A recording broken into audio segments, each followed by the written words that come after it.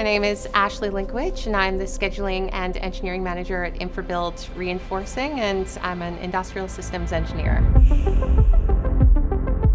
Engineering has become a much more modern practice now, and there's a lot more roles that I think are quite well suited to women. And what I really love about my job too is that I'm a bit in the technical with my team and, and really getting involved in kind of what they're up to, but also heavily focused on the strategy side. So I'm meeting all the time with our customers, understanding their projects that are coming up, and also looking at what does the next generation of this industry look like. Construction and especially steel reinforcement is very traditional.